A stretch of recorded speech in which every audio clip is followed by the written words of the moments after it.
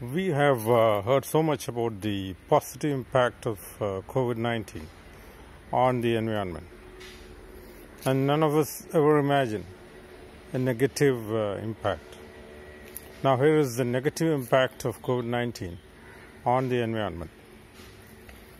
See, the carbon dioxide emissions of the factories and you know various uh, pollutant ways of living of human beings had actually one good impact.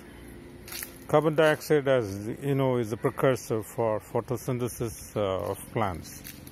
And now, because of COVID 19, the carbon dioxide levels have come down uh, across the world, which in fact has a negative impact on the photosynthesis of the plants. So, don't imagine uh, COVID 19 has only positive impact on the environment. That's why it said everything has a positive and a negative dimension. Even the environmental impact of COVID 19 has a positive and a negative.